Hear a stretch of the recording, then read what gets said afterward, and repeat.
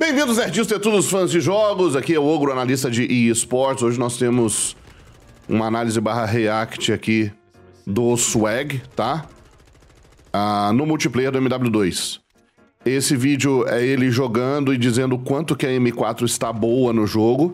Quando eu joguei, não achei a M4 nada boa, inclusive, né? O balanço é, vertical, balanço horizontal, desculpa, de um lado para o outro, né? Da mira me irritou bastante. Ele é um jogador profissional, ele é da FaZe, ele é incrível. Mas é estranho, eu sei que ele joga no controle.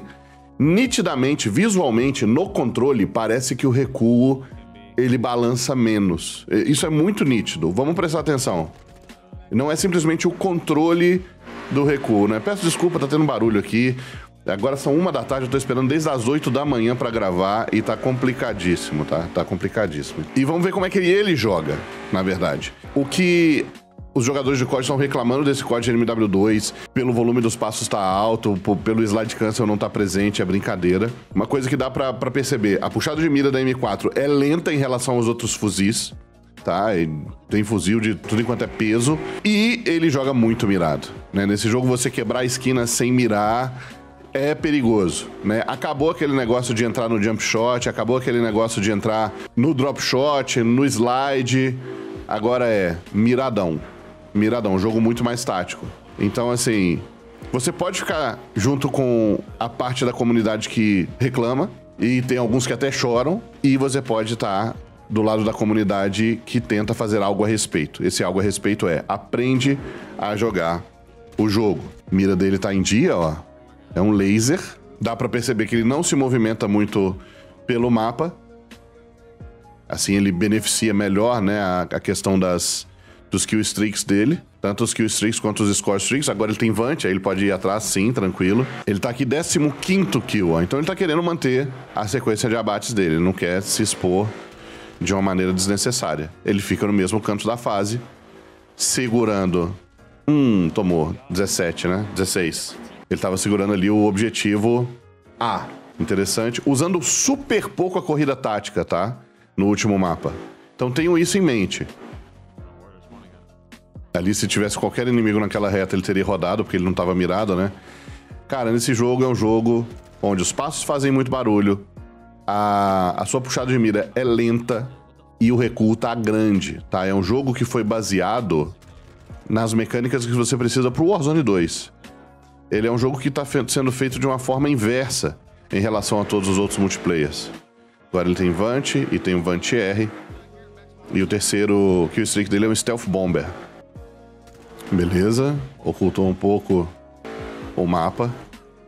Show de bola. É, com, com, com o UAV, né? Com o Vant é diferente se mover no mapa, né? Mas dá pra ver que não é aquele multiplayer corre-corre.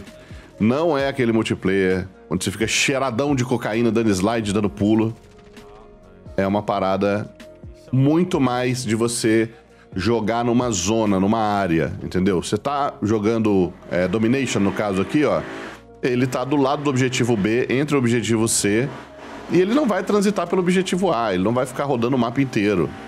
Ele pega uma linha de tiro, guarda essa linha de tiro, se posiciona de acordo com o AV, é isso. Bateu, isso aqui que eu tô falando, ó. Isso aqui que eu tô falando, brother. Ele bateu de frente com o jogador sem estar tá mirado. Jogador que ele não tá esperando, principalmente corrida tática, velho. Principalmente na corrida tática, ó. Isso aqui é o maior perigo para esse jogo de multiplayer. E vai ser o maior perigo no Warzone 2. Se você tá assistindo isso, velho, escreve isso na sua cabeça. para um dia que você morrer por conta de corrida tática, você vai falar assim: o Ogrão me avisou. Tem muita gente que deixa a corrida tática automática. Tem muita gente que já no automático aperta shift duas vezes e nem pensa em usar a corrida normal. Nesse jogo é muito diferente você usar o sprint e o tactical sprint.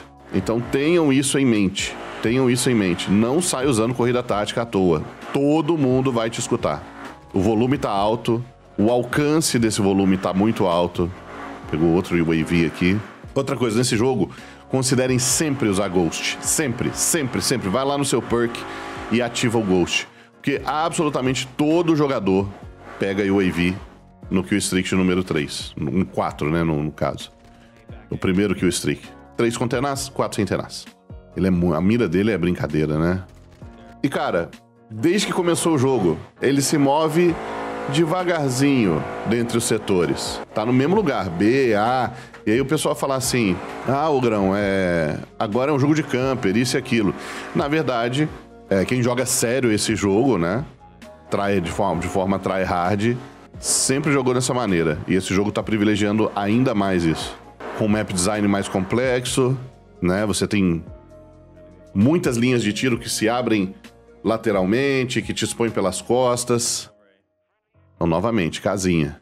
Ele tá com quantos abates? Sequência, eu não consigo ver. Aí ele vai até a porta.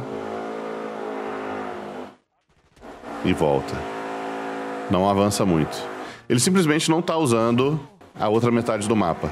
Se bem que esse lugar onde ele tá, querendo ou não, esse corredor ali do lado esquerdo, você protege o objetivo A, agora o objetivo C, objetivo B. Mas ele não vai até lá, ele só usa as linhas de tiro. Isso é interessante, hein? Principalmente se você estiver usando Kill Streak, que no caso é o que o Phase Swag tá usando. Então você tem que aproveitar, né? Essas sequências de abate. Não se expor muito.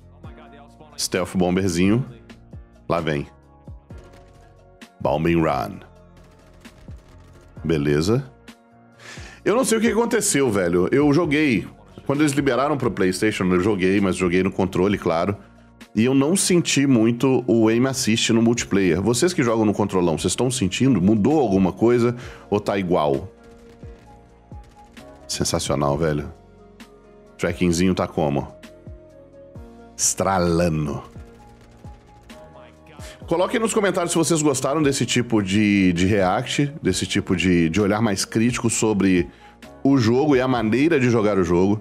Se vocês gostariam que eu desse uma olhada em outros jogadores profissionais, pra gente já ter um mindset, né, formado sobre como tirar o melhor desse jogo. Ô, oh, velho, olha esse barulho, cara. Eu ia adorar jogar uma granada de concussão pela janela do vizinho. Bom, espero que vocês tenham gostado. Deixe o like, compartilhe, se inscreva no canal. Lives todos os dias em twitch.tv barra como ogro. Um beijo do ogro. Nosso conteúdo é diferente e barulhento.